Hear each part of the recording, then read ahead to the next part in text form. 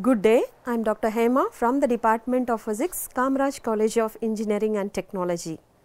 And here in this video, we are going to learn about solid oxide fuel cell.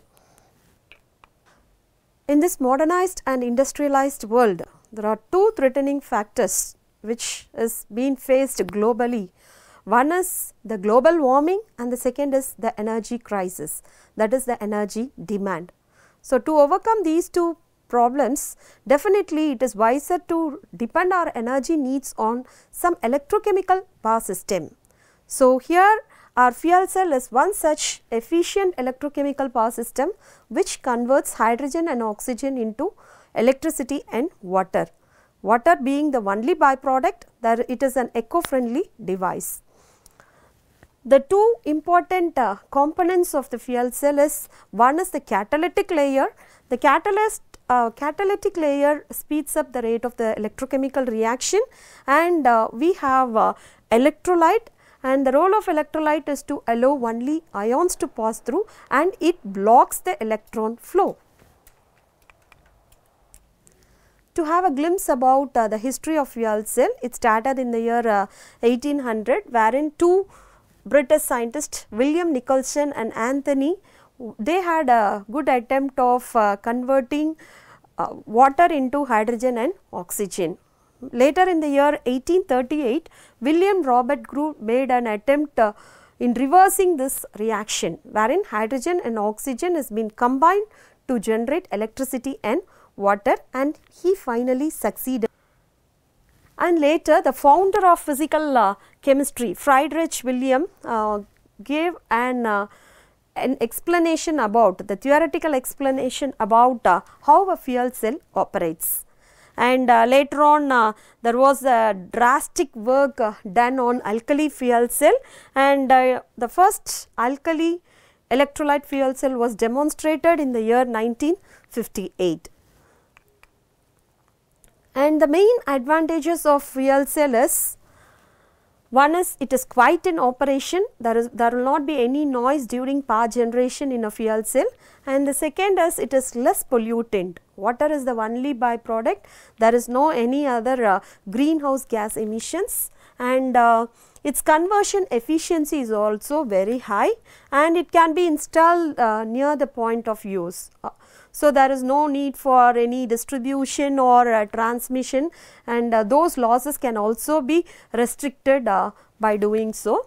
And uh, there is no extra cooling system required for uh, the fuel cell because uh, the heat generated in the fuel cell will be automatically dissipated it will be very less and it will also be dissipated easy to the environment and uh, fuel cell uh, plants are very compact and it occupies very less space.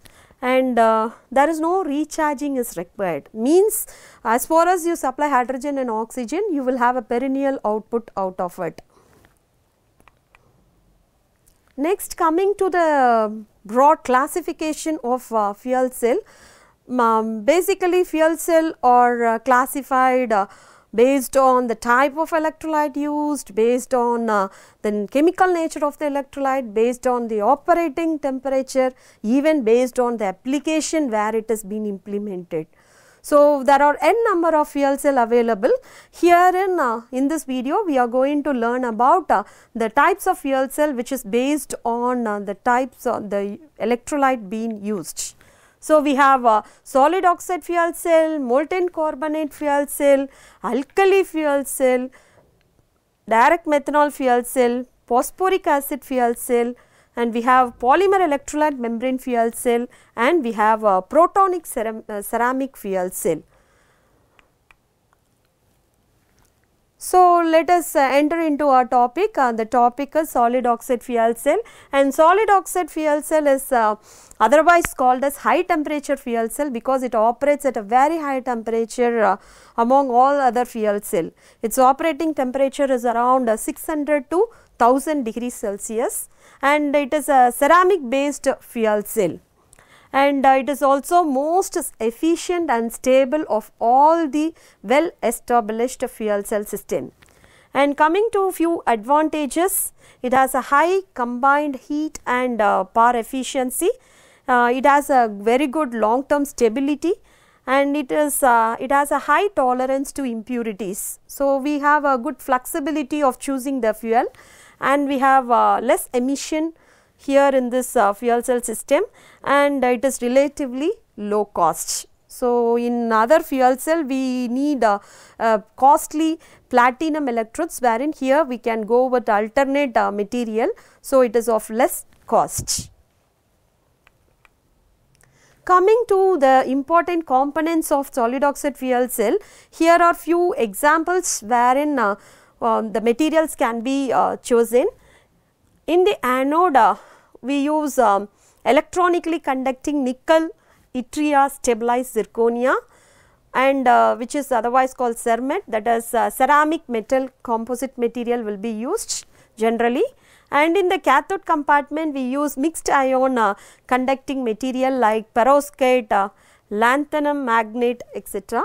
And in the electrolyte we use uh, yttria stabilized zirconia which is abbreviated as YSZ.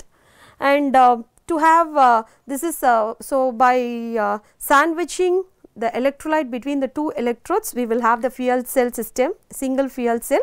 To have a reasonable voltage we can go with uh, series connection of all these fuel cell that is called the fuel cell stack. So, let us uh, learn about the working operation of a solid oxide fuel cell and this is the schematic diagram of a solid oxide fuel cell. We have the electrolyte uh, which is a ceramic material which will be sandwiched between the two electrodes that is anode and the cathode.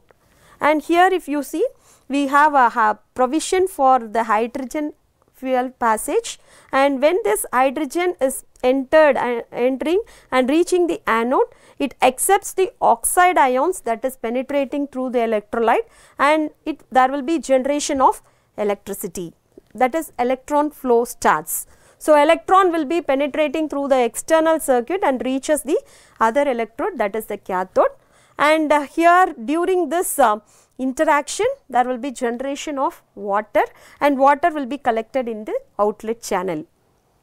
And coming other side of the electrode we have the cathode and here atmospheric oxygen will be purged to flow through the cathode. When it interacts with the cathode here the oxygen combines with the electrons that is flowing from the external circuit and we have uh, oxide ions this oxide ion will be penetrated through the electrolyte system. And the whole process take place in a cyclic way.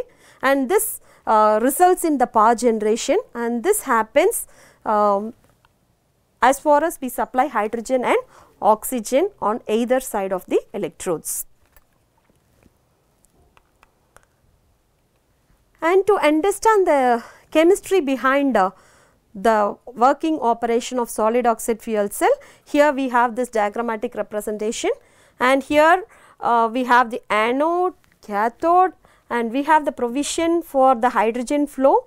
The hydrogen enters through this channel and when it reaches the anode this chemical reaction takes place that is hydrogen combines with oxide ions that is O2 minus ion and we have water production and also electricity generation that is electrons and this electron will be moved moving through the external circuit and it reaches the other electrode that is the cathode because it will be blocked to flow or penetrate through the electrolyte.